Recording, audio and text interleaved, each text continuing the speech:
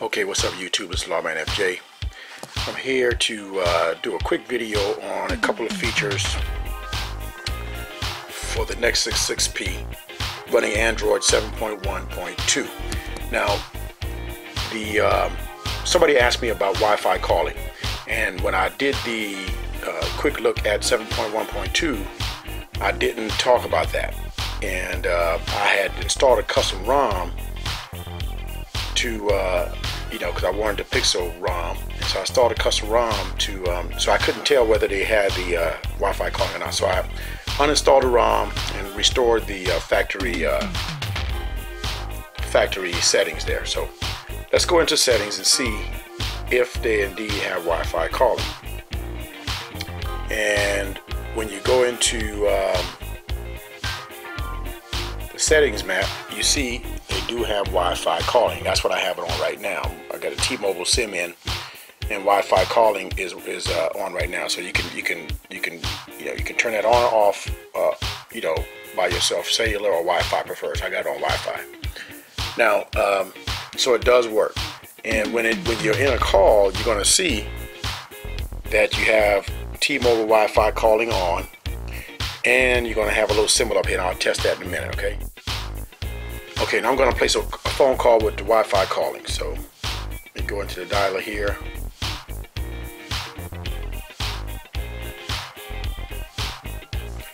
This dollar number here.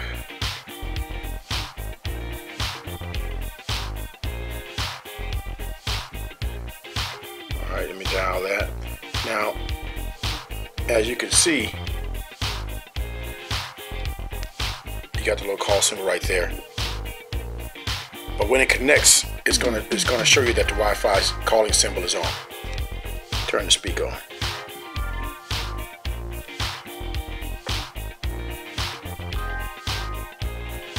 Okay. Hello. So see it's connected right now. You see the Wi-Fi symbol right there. Wi-Fi calling is on right there. From March 2nd See that? Right there. be rec- on March 13th. So it does work, and it works pretty well. Um, you can get clear, clear voice calls, no, no issues, and that works pretty well. Okay, so that's the Wi-Fi calling feature on the Nexus 6P with 7.1.2. Okay, as you know, Google Assistant is now on um, all Android devices. You should have gotten it already if you hadn't. If you hadn't gotten it already, and we're going to test it real quick to see how it works. Okay. Okay, Google. Now, I didn't. I never loaded these, so that's why you see the this this the uh, continue uh, button there. So we'll go ahead and get all these going, and uh, and then you you see Google Assistant starts there, right?